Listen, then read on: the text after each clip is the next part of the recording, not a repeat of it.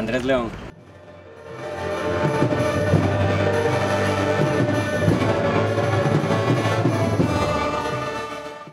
La UCR para mí es aprendizaje.